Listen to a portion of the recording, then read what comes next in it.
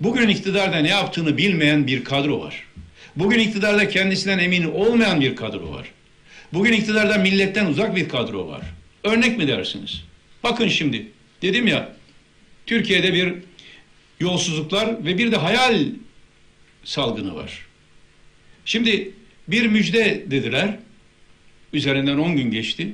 Sorduğumuz sorulara cevap hala alamadık ama Karadeniz'de bir müjde üzerinden büyük bir kampanya yürüttüler.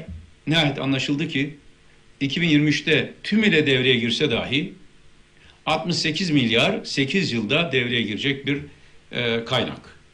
Bu da Türkiye'deki doğal gaz fiyatlarıyla, dünya doğal gaz fiyatlarıyla bu, Avrupa doğal gaz fiyatlarıyla bu 20-25 milyara kadar geriliyor.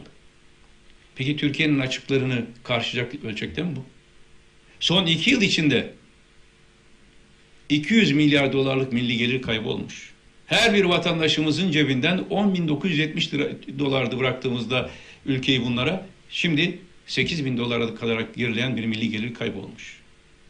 Şimdi bütün aslına bakarsanız Türkiye'de için devede kulak Türkiye'nin bütçesi kapasitesi. Hatta çıkıp çıkmayacağı daha belli olmadığı için, üretim planlaması da ortaya konmadığı için, biyoenerji, biyoenerjik temelli bir doğal gaz olması dolayısıyla verimliliği de olmadığı için belki de devede kulak bilirliği, devede kulağın tozu olacak bir müjde büyük bir vaveylerle verildi.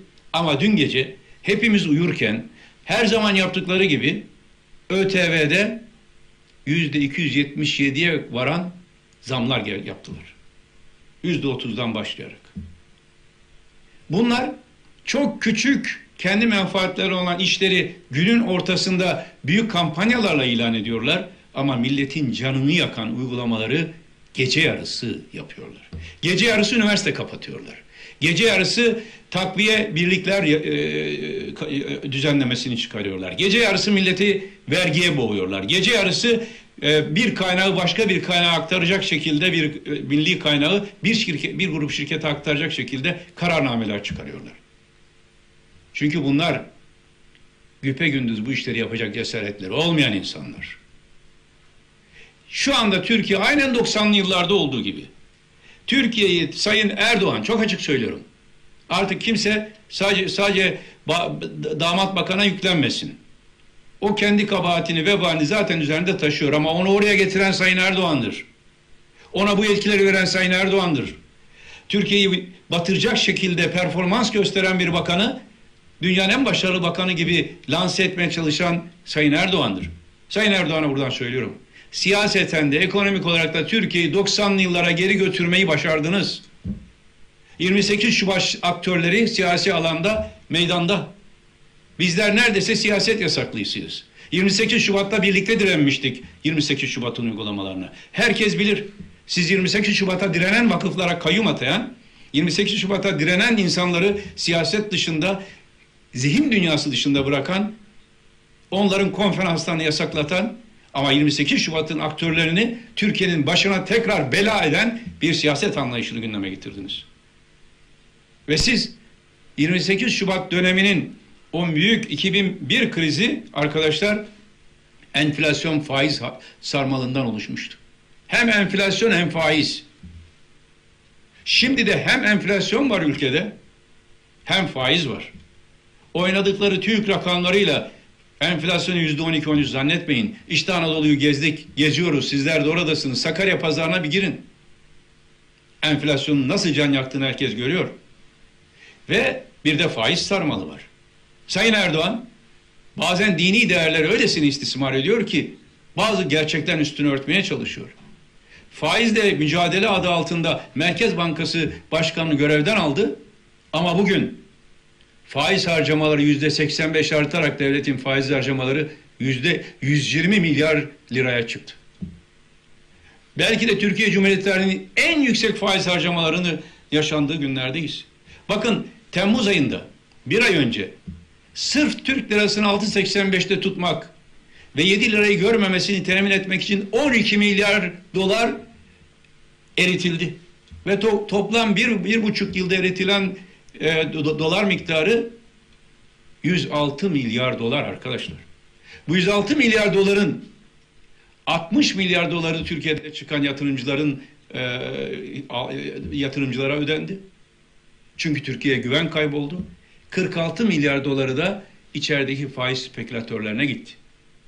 Peki Türkiye'de faizciler büyük rantlar elde ederken Türkiye'de bir grup şirket büyük imar rantları elde ederken halkın durumuna bakın halkın durumunu söyleyeyim size.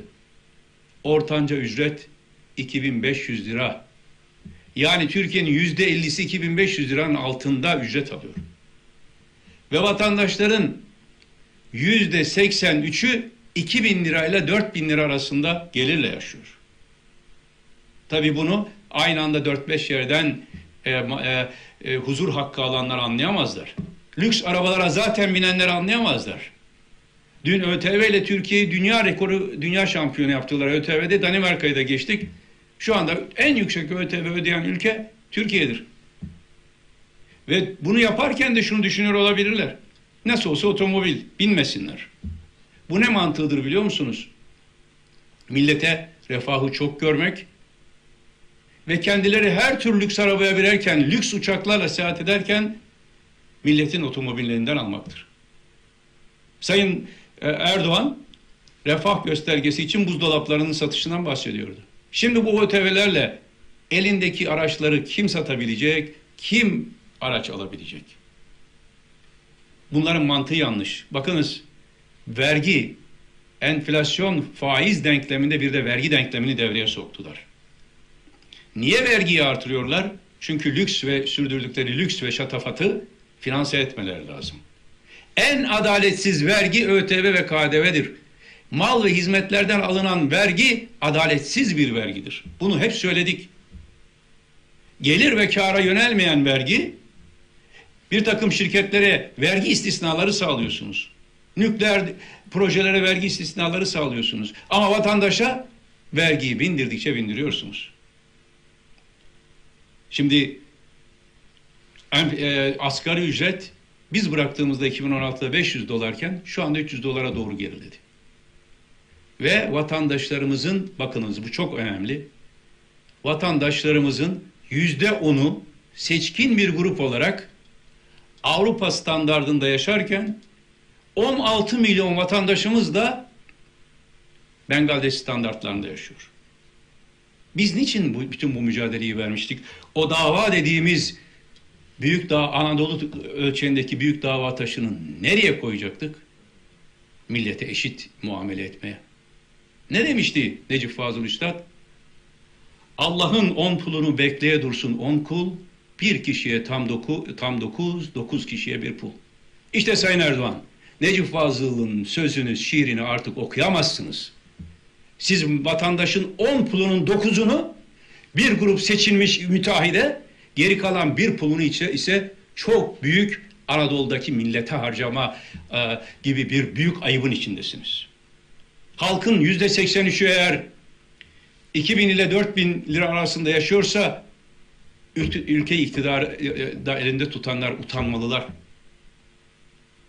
Bugün bütün bu dengeleri değiştirecek yeni bir siyasi hareketi başlatma ve taşlandırma gündür değerli arkadaşlar. İşte Gelecek Partisi olarak biz bunun için yola çıktık. Bir kişiye dokuz pul, dokuz kişiye bir pul düzenle son vermek için yola çıktık. Necip Fazıl'ın şiirlerini okuyarak, Sakarya Destanı'nı okuyarak, hamaset yaparak milletin davasının e, e, temsilcisi olamazsınız. Gelecek Partisi kurduğu ekonomik, kuracağı ekonomik düzenle, vergi düzeniyle, enflasyon ve faizle aynı anda mücadeleyle inşallah milletin önündeki engelleri aşacaktır. Milletin kaybolan itibarını yeniden hayata geçirecektir. Devletimizi itibarlı ülkeler arasına getirecektir. Değerli arkadaşlar, çok değerli Sakaryalı gönüldaşlarım, gelecek gönüllüleri. Bugün orada sizlerle birlikte olmayı, bu coşkuyu birlikte yaşamayı çok isterdim. Ama mümkün olmadı. Ama Sakarya her zaman bizim yüreğimizdedir, gönlümüzdedir, zihnimizdedir.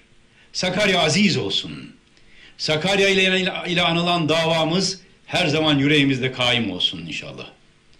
Ben bu sözlerle Sakarya 1. olan kongremizin hayırlara vesile olmasını diliyorum.